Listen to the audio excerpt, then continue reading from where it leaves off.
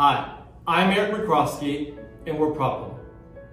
Customer experience strategic advisors working with Fortune 500 organizations seeking to put the customer at the heart of the business. Eight offices, 15 years experience, advice backed by science. Today, I'm here in our Propulo's studios.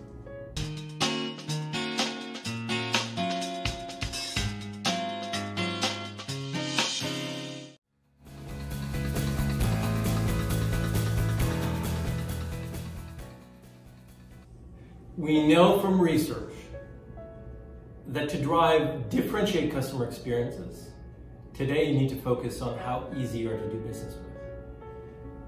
When you look at organizations that are easier to do business with, their employees typically are better at critical decision-making skills. That was proven by external research, but we've also demonstrated it internally through the work and the research that we've done. So how do you make critical decision-making a way of life in your contact centers with your frontline team members, those that are interacting with customers day in and day out? It's simple.